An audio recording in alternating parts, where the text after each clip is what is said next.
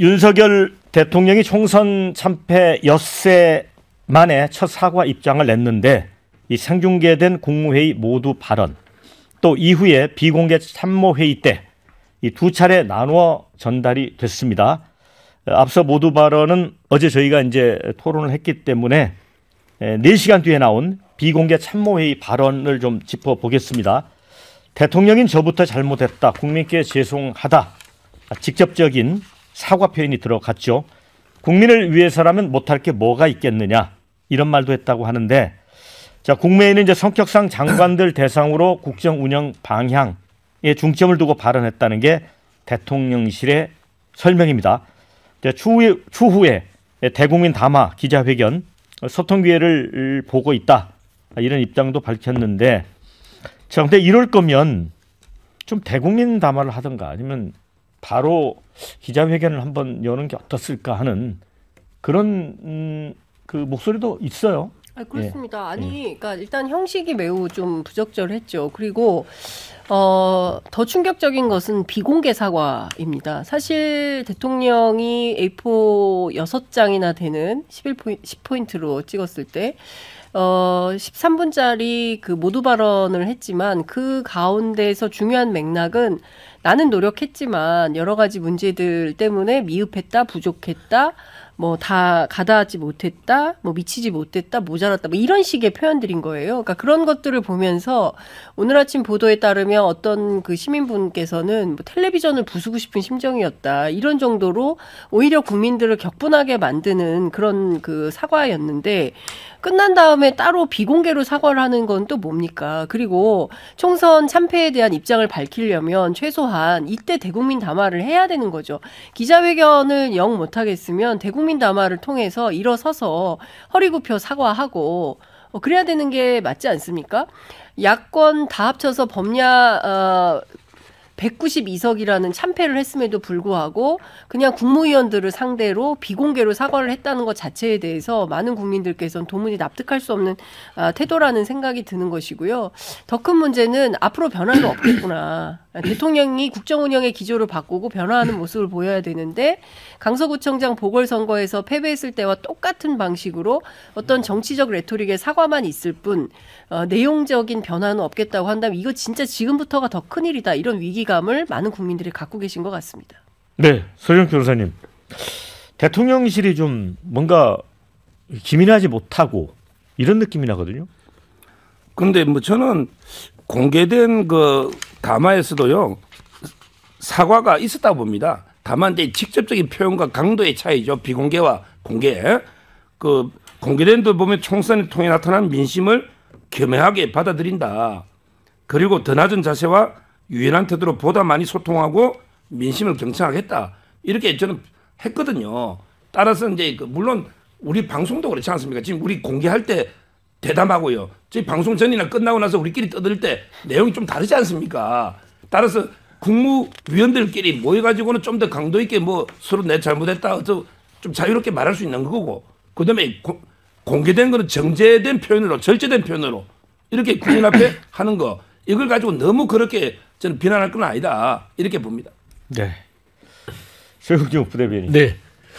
그러니까 뭐 이제 그 지금 서정 변호사님께서 윤석열 대통령을 과도하게 방어를 하기 위해서 그렇게 얘기를 하시는데 좀 궁색해 보이긴 합니다. 그러니까 이제 어쩔 수 없는 뭐 입장은 이해는 되나 이번에 이제 총선 이후에 국무회의에서 대국민한테 어떤 뭐 총선에 대한 메시지를 날리는 형식도 매우 잘못됐고요. 기자 한 명 없이 아니면 본인 스스로의 어떤 국민의 입장 발표도 없다는 자체부터가 좀 첫 단추가 잘못됐고 두 번째는 국무회 위원들한테 잘못했다고 그래요? 국민들한테 심판받았지 국무위원들이 투표해서 총선에 표를 줬습니까? 그거 아니잖아요.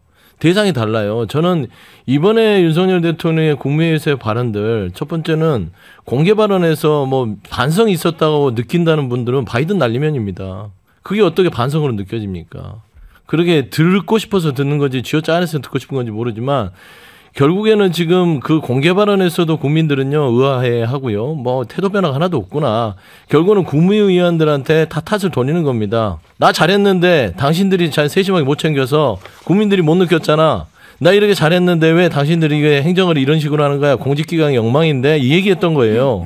그다음에 두 번째 국민들한테 저 열심히 했는데 몰라주시고 저한테 이렇게 회초리를 때리십니까?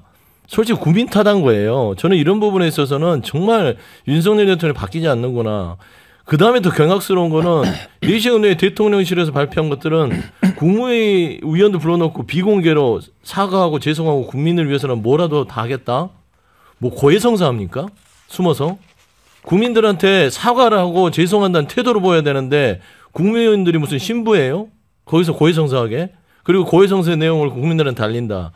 이거 참 어처구니 없어요. 2년 동안 국민들 누누이 꽉 막힌 윤석열 정부의 태도를 봤는데 반성이 없습니다. 이거 어떡하죠? 라는 생각이 들어요. 고해성사 아니냐 이런 지적까지 하는데 네, 우리 서업 대변인께서 좀 강하게 비판해 주셨는데요. 저도 그 선거 참패 직후 있었던 그 대통령의 어떤 사과로서는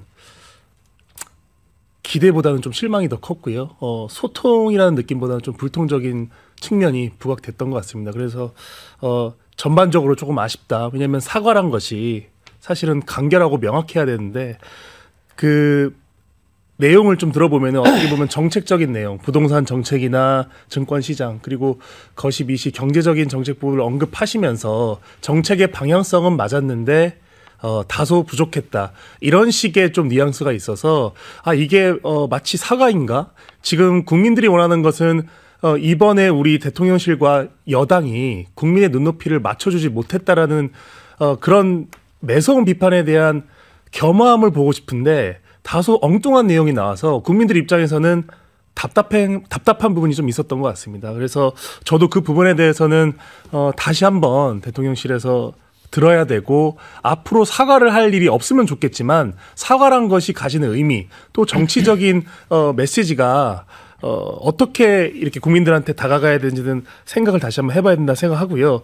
중요한 것은 이번에 사과마저도 이제 소위 말해서 비공개로 대통령이 국민들한테 나중에는 사과한다고 했다. 이렇게 전원식으로 다소 구차하게 들려지는 이런 부분이 저는 굉장히 아쉬웠습니다. 사과를 할 때 대통령이 아까 그 장 기자님 말씀하신 것처럼 저는 액션 이런 차원에서 허리를 굽힌다든지 또 전적인 모습으로 사과를 하면은 국민들이 또 마음이 풀어지거든요.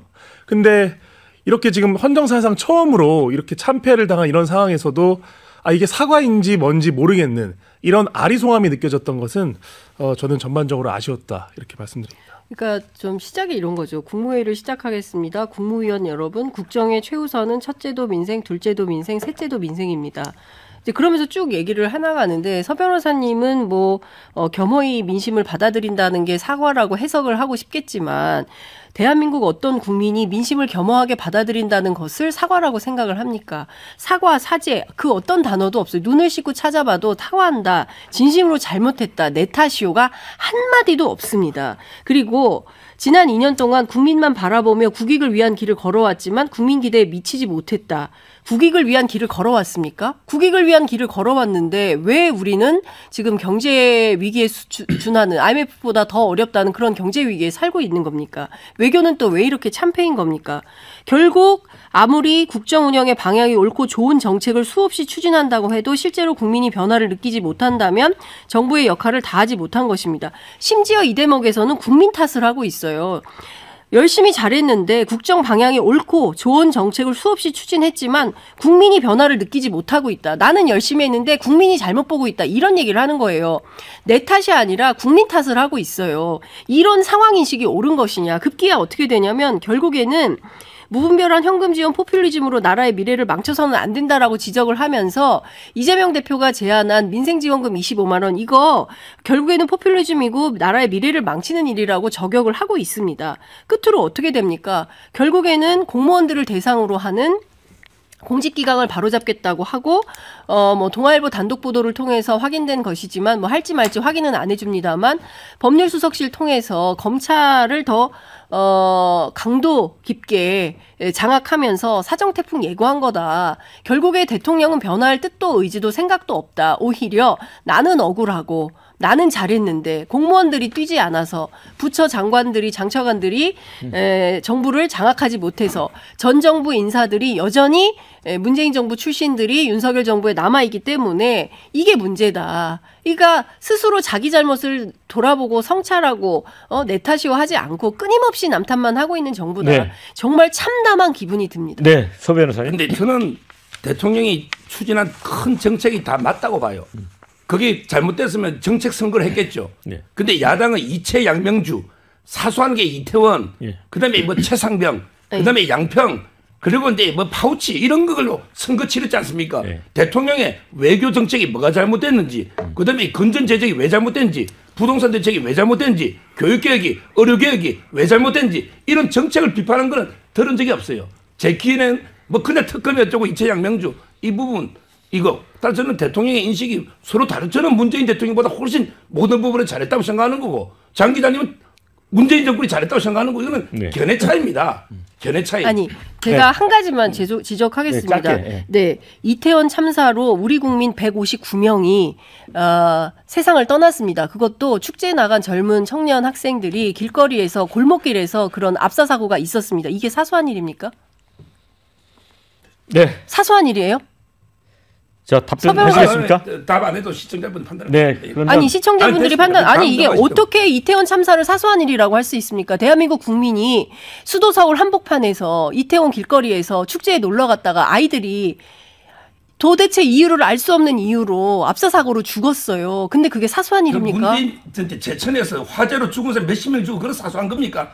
아니, 문제-. 아니, 잠깐만요. 정치적으로 자꾸 서 변호사님, 이용한- 제가- 아니, 정치적으로 더 이상 이용하는 게. 아니라- 그게 사고라는 건 문재인 정부 때도 수많은 사고가 있었어요. 아니 아니 지금 제가 그게 사소하다고 제가 자, 말하는 자, 게 자, 아니고 자, 아니, 정치적으로 이용하면 안 된다는 거예요. 아니 정치적으로 아니 아니, 지금 이게 예, 사소하다고 제가 한 적이 어, 안- 장 아니 기자님 사- 지금 사 변호사님이 사소하다고 말씀하셨어요. 이채 양명주로 공격 말지 언제 정책 공격했냐고 선거를 그 아니, 이야기입니다. 당연히 저는 이번 총선에서 정책이 없고 공약이 실종된 선거라는 점에 대해서도 저도 매우 비판적으로 지적을 했습니다. 그러나 이태원 참사를 사소한 사건이라고 말씀하시는 것은 잘못된 음, 아니, 사소하다고 안 판단이. 네, 아니, 자. 잘 들어보세요. 네. 자기가 한 말을 안 했다고 하시면 안 되죠.